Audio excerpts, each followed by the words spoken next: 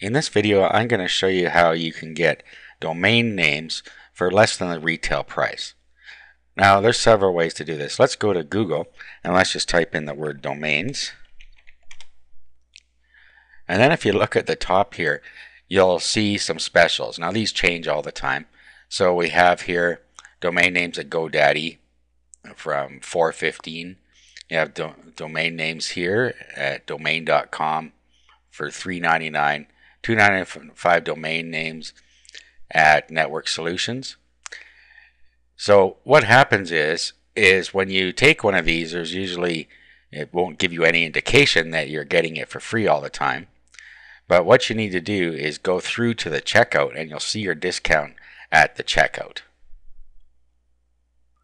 Okay, so it's telling you what the offer is up here and then it'll show you offer details.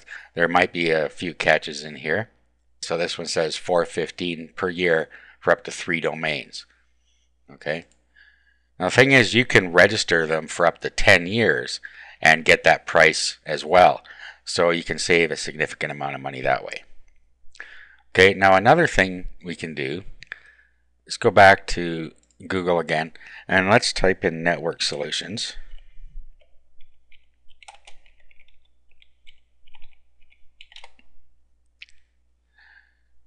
Okay, and then sometimes you'll see GoDaddy with a better offer. Now today it is just is 415 here, but I've seen it for as little as 99 cents. So these so this is another way you can do it. Now there's also coupons that you can find. If you type in GoDaddy coupons here,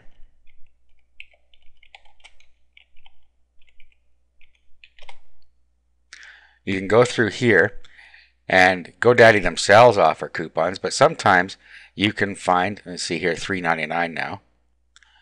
Sometimes you can find other sites that are posting current coupons. Now, there's lots of sites out there posting coupons, but they're not always up to date. So you have to do a little bit of searching.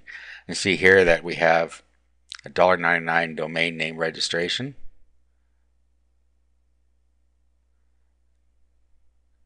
Okay, so let's see what it does here.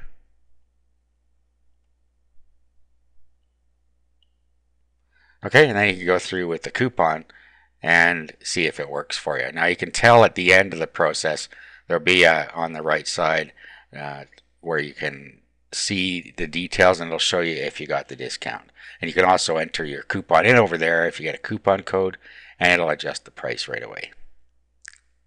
Okay, so those are some ways that you can save on your domain name registration.